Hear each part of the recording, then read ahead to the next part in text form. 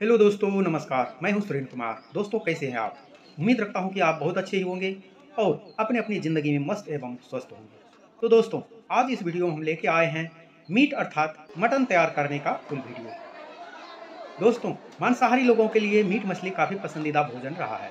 मगर दोस्तों, भोजन अगर मज़े ना हो तो एक तो पैसे बर्बाद होते हैं। दूसरा, भोजन खा के मन में संतुष्टि पाने का वजह मीट मछली का खाने का इच्छा घट जाता है या बदल जाता है। दोबारा मीट मछली खाने को जी नहीं करता। मीट मछली का अच्छे से पकना और स्वादिष्ट बनाना ज़रूरी रहता है।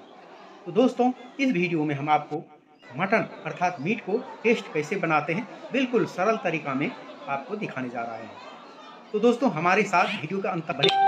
वीडियो पसंद आए तो इसे लाइक करें, दोस्तों को शेयर करें और अब तक हमारे चैनल को सब्सक्राइब नहीं किए तो हमारे चैनल को ज़रूर सब्सक्राइब करें। और साथ ही इस वीडियो को फेसबुक पेज से देख रहे हैं तो हमारे पेज को फॉलो करना न भूलें। देखते हैं आगे का वीडियो। तो दोस्तों, सबसे पहले शुद्ध ताज़ा मांस परिवार के हिसाब से, अर्थात परिवार का खाने का हिसाब से रख ले। और इसके बाद जो है कढ़ाई को चूल्हे पर थोड़ा हीट होने दें और फिर इस पर तेल डाल करके गरम करते हैं। जैसे कि आप देख सकते हैं, हल्के आँच पर तेल को डाला गया है उस पत्ते को डाला गया है। और इसके बाद जब थोड़ा गर्म हो जाए तो इस पर कटा हुआ प्याज को डाल दें और फिर इसे चलाते रहें ताकि ये एक जगह बैठे ना। और उस पर तेज पत्ते को भी डाल दें। जैसे कि देख सकते हैं, तेल पर जो है, फ़िलहाल तेज पत्ते को डाला गया है। और इसके बाद जब थोड़ा गर्म हो जाए तो इस पर कटा हुआ प्याज को डाल दें और फिर इसे चलाते रहें ताकि ये एक जगह बैठे ना। जैसे कि देख सकते हैं। तो जैसे कि आप देख सकते हैं, प्याज को गलने के लिए नून को भी डाला गया है ताकि प्याज गल जाए। और दोस्तों, जानकारी के लिए बता दूँ कि बनाने वाले जो है, कोई पेशेवर मटन चिकन बनाने का कारीगर नहीं है। गाँव घर में इस तरह से जो है भोज भतेर पर बनाने का एक्सपीरियंस है और काफ़ी स्वाद रहा है और इसके एक सहयोगी भी आपको मिलेंगे, जो आगे चल करके देख पाएँगे। वैसे दोस्तों, इन लोगों का गैंग में काफ़ी तजुर्बेकार मटन चिकन बनाने वाला ग्रुप है। और दोस्तों, इसी का साथ हल्दी पाउडर को भी डाल दें।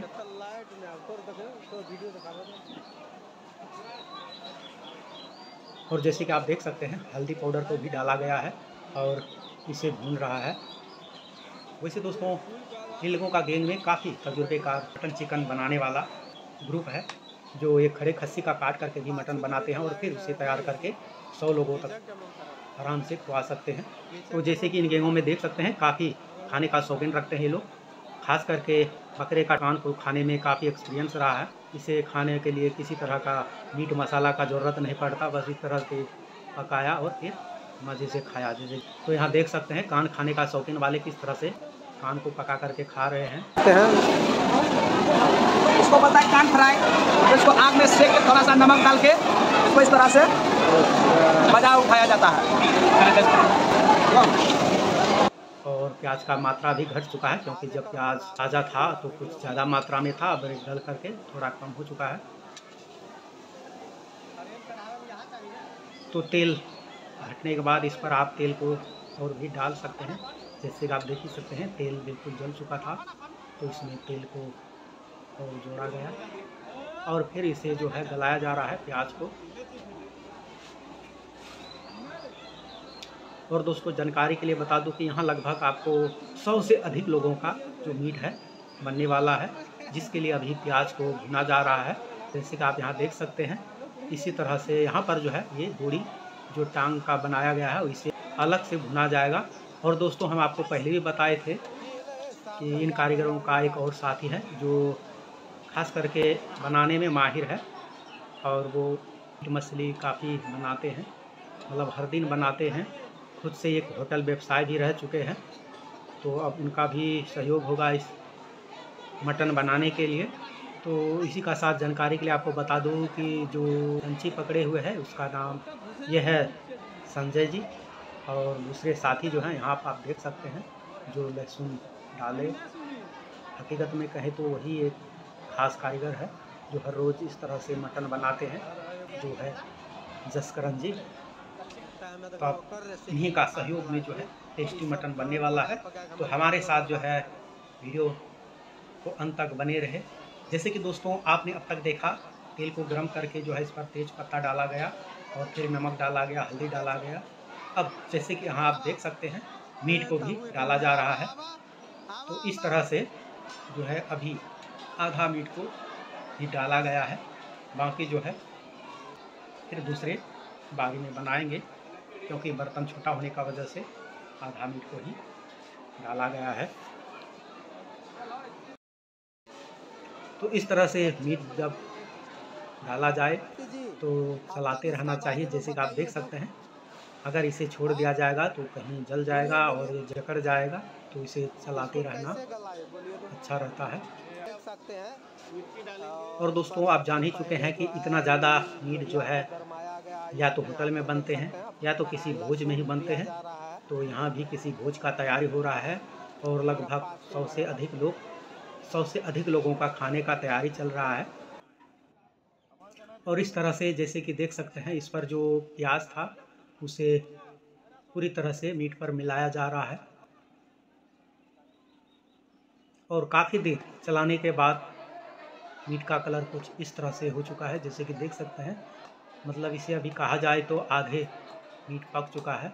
अब इसमें जो है बाकी का मसाला डाला जाएगा।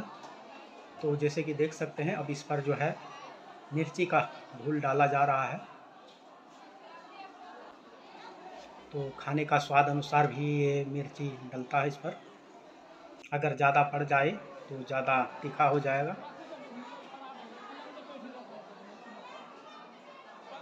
तो दोस्तों, जैसे कि देख सकते हैं, अभी इसका जो कलर है बिल्कुल भद्दा सा लगता है। मतलब जैसे होना चाहिए, उस तरह का नहीं दिख रहा है।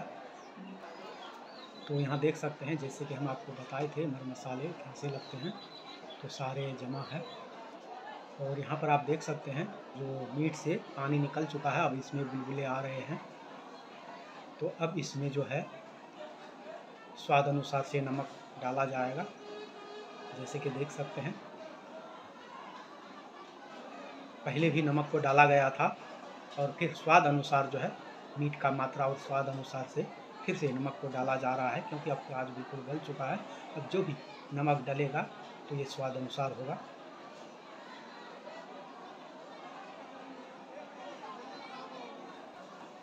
तो दोस्तों, अभी भी मीट का अच्छे से बनना बाकी है। तैयार नहीं हुआ है तो हमारे साथ बने रहे।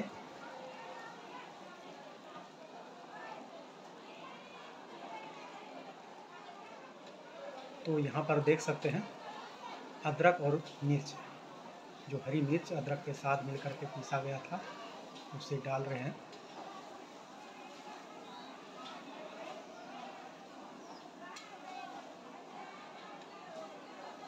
और यहाँ पर देख सकते हैं, मिर्च पाउडर भी डाला जा रहा है, जो कि अब यही जो मिर्च पाउडर है, मीट में कलर भी भरेंगे और तीखा भी करेंगे।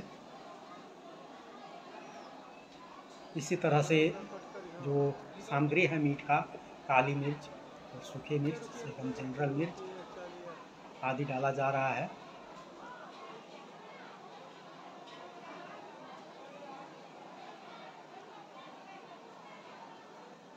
अब इसी का साथ जो है धनिया पाउडर को भी मिलाया जा रहा है।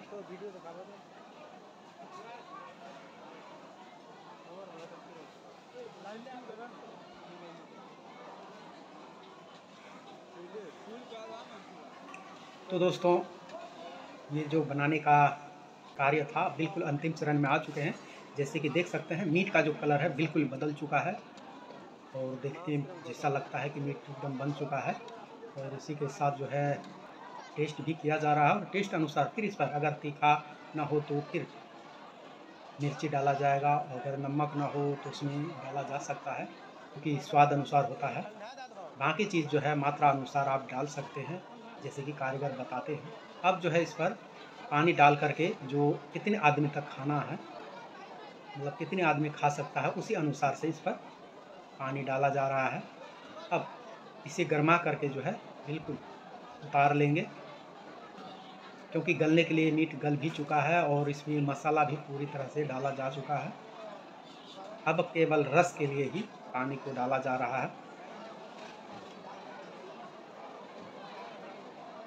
और दोस्तों, जैसे कि आप देख सकते हैं, मीट बिल्कुल पूरी तरह से तैयार हो चुका है और खाने के लिए यहाँ बैठ चुके हैं। जैसे कि हम आपको पहले भी बताए थे कि लगभग सौ आदमी से अधिक मीट को खाएँगे तो एक बार नहीं, कई बार इस तरह से बनाना पड़ेगा। तो यहाँ पर देख सकते हैं, बना करके खाने बैठ चुके हैं। तो इनसे जानते हैं कि ये मीट जो है, किस तरह से बना है, कितना टेस्टी है, वो तो खाने वाले ही बनाएँगे आपका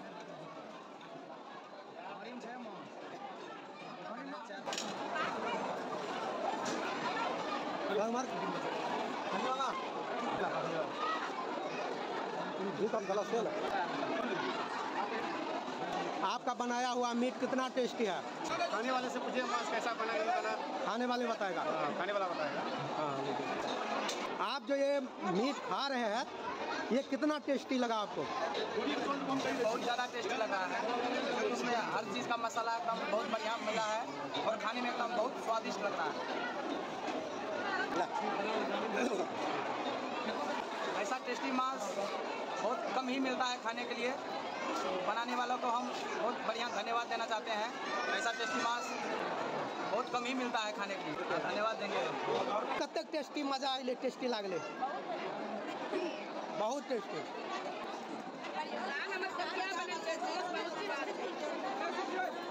तो दोस्तों हमारा ये जानकारी हमारा ये वीडियो आपको कैसा लगा? कमेंट में अवश्य लिखें। और ये वीडियो पसंद आए तो इसे एक लाइक अवश्य करें दोस्तों को शेयर करें। और अब तक हमारे चैनल को सब्सक्राइब नहीं किए तो हमारे चैनल को ज़रूर सब्सक्राइब करें और इसी वीडियो को फेसबुक पेज से देख रहे हैं तो हमारे पेज को फॉलो करना ना भूलें। तो दोस्तों, मिलते हैं अगले वीडियो में तब तक के लिए जय हिंद, जय।